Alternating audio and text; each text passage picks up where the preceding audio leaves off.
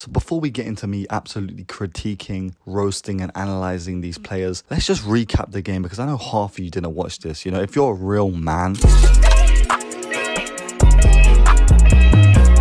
you did not watch three hours of the Sidemen charity game. Literally, maybe when it was like the 60th minute, bro, I went for a run. 75 kilometers, you know, took an ice plunge afterwards and then made $500 million. So let's just get into this game. Now, Sidemen versus YouTube All Stars kicked off with Ethan Behzinga scoring an absolute worldie. Well, not really. It was Jidion trying to handball the ball that made Ethan trying to score, and he celebrated like he had just won West Ham their first ever Champions League, even though they'll never qualify for that competition in the next probably 750 years, but he made that finish look easy. He was playing like Declan Rice all game, and I have to rate it. But Chris MD claps back like Prime Mahrez, taking out three players on the game and then slotting it bottom right corner like an absolute madman. Then we get Manny playing an absolute brilliant ball to Simon Miniminter, who slots it bottom left like an absolute target man and then he just does the most cringe celebration ever. Chunkz getting a very lucky goal. I feel like in all of these charity matches, he does get a goal, but this one was the luckiest one of all. The man plays in slow motion. He is absolutely brilliant. No one can hate that guy. Manny playing a 1 2 with Miniminter and finishing it to make it 2 2. You know, it was a very competitive game. It is the 47th minute and now it is 2 2 or 3 2.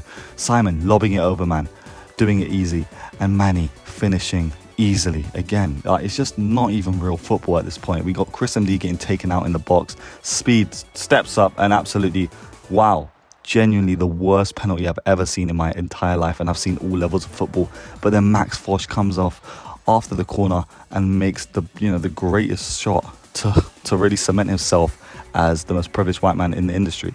Now, a missed chance from Speed Toby counterattacks, plays the ball all the way long. We got a little kerfuffle with Jidion and XQC, and bang, Manny scores or Toby scores. Wow, I'm just actually racist.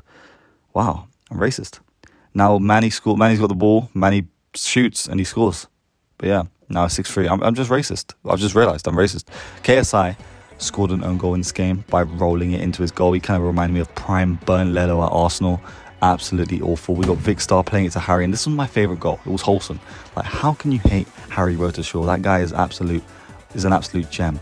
Nico obviously got on the score sheet, the tall, lanky guy. He also is another player that plays in slow motion. He's got zero pace. And then the final goal was by this guy, Tariq, who was the most, honestly, he was so bad. And he celebrated and no one celebrated with him. So Sidemen won, you know, 8 5 at the end. And it was an all round great thing, you know, great atmosphere it was great for them. You know, they made a lot of money for charity, and it's a good it's a good game. Hey, my name's Jib Ross, aka Jib, and I just got done watching the Sidemen charity game, aka the biggest game in world football, apart from the World Cup final, Champions League final, any Premier League game, and genuinely any other real football Now, this game consisted of some goals, and I'm here to give you a rundown of what happened, but also give you my take. Because as an ex professional footballer, uh, I think you need to hear this. I'd like to analyze the game, break down a few of the stats, and just really get to grips in who is the real top ballers of the YouTube game. Now, if you don't believe me, of course, you know, let me just change out of this and I'll change into my home kit of my team, and then you'll, you know, get a little feel of who I really am. So, my real name is actually Jude Bellingham, and I am here to talk real football, just like I am real. I'm a real centre mid, and I've been playing amazingly in the past couple of weeks. So, the game kicked off strong. Sidemen were looking kind of old, dry, shaky, you know, elderly. But Behzinga, Ethan, was going crazy. Man was balling out. He decided to play like Declan Rice in this game and just was bossing that midfield. So YouTube All Stars had the better of XG in the game, you know, coming up with a 3.49 and 33 shots, with Sidemen only getting 21 shots in the entire game. I feel like with Sidemen's team, they had a lot of chemistry, but didn't really have anyone penetrating the defense as much as YouTube All Stars had. But in the defensive side of things, we can understand why Sidemen won the game. With their tackles one being 20 in comparison to YouTube All Stars 10, their interceptions being 6, blocks 7, and clearances 15. They also had more duels won with a whopping 48, and generally, their defensive line was much, much thicker and girthier than YouTube All Stars. I feel like YouTube All Stars were very top heavy with the likes of speed, bringing that speed on that right hand flank, and Nicolas Omilana staying up there and just pinning defenders. They also had Philly running the game, who is honestly the only real baller on that pitch. Like, in a real match, in a real game, in a, as a, at a real professional level, the player that you would pretty much take on your team from YouTube All Stars has to be Philly.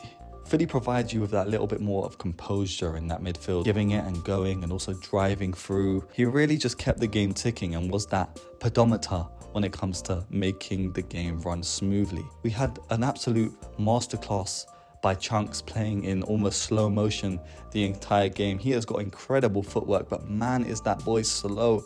It's like someone just got the footage and just went 0.75 to every single one of his clips.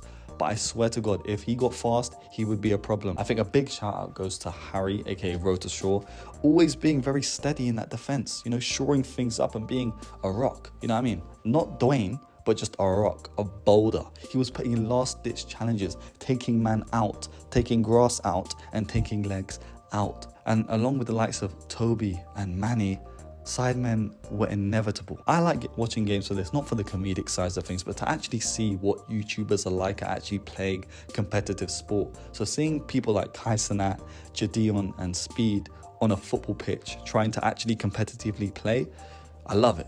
You know, I love it. I'm, I'm here for it. But it just shows that they are not anywhere near even a, they couldn't even make it to the school football team in year seven. You know what I mean? They wouldn't even make it onto the year five football team. So it just shows the levels. I also completely forgot to mention that angry ginger guy, young ginger boy, playing, and he put in a master's class as well. He was one of the reasons why Harry was so, you know, defensively strong.